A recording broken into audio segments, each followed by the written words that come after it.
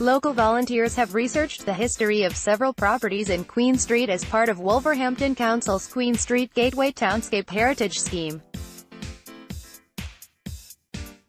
The research will be part of a new exhibition at Wolverhampton Art Gallery in May which tells the history of the street.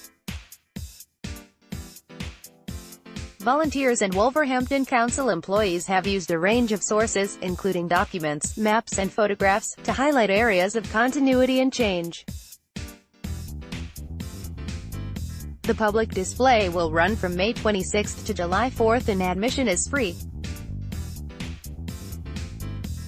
Queen Street contained a mixture of stores and older buildings Ron Macklin, a New York-based artist, became involved in the exhibition through the Urban Sketchers group.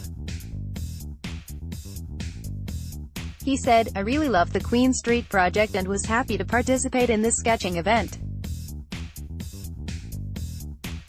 The architecture is truly beautiful even though many of the first-floor commercial stores have masked that beauty.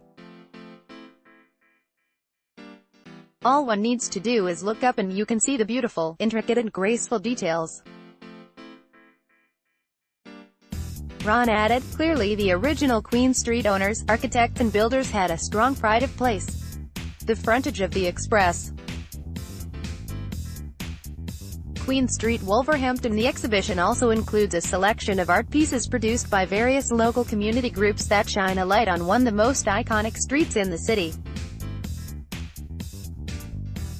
In 2017, Wolverhampton Council secured Heritage Lottery funding to support the Queen Street Gateway Townscape Heritage Scheme, which provides grants towards the cost of external repairs and enhancements to buildings of historic interest in the street. Queen Street is home to many listed buildings dating back to the early 19th century. Queen Street first came to be in the 1750s during a time of growth and prosperity for the city. The first phase of the street's construction, between 1754 and 1788, saw the north side of it built between Princess Street and Piper's Row. The second phase, beginning in 1812, saw larger, more prestigious buildings being constructed. the Express Cafe on Queen Street in 1968. These included the Congregational Chapel, number 46, which is now Johnny Spice but was the town's first public dispensary for treating the poor and the post office which was later demolished and replaced with the Express. Number 50, which was the town's subscription library before it became assembly rooms and then the county court was built in the same period. The building was last used as a nightclub and is currently up for sale. Queen Street also became the home of the headquarters for the Express. Huge hordes of football fans gathered outside the Express. Wolves were playing Newcastle United at Crystal Palace in London, and the scores were being relayed to the newspaper by carrier pigeon.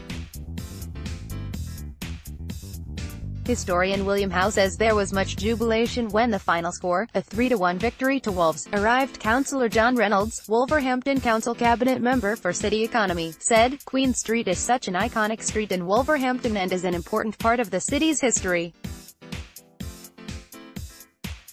By working with volunteers, historians and the businesses previously located and currently located on Queen Street we will look to restore the buildings to their former glory.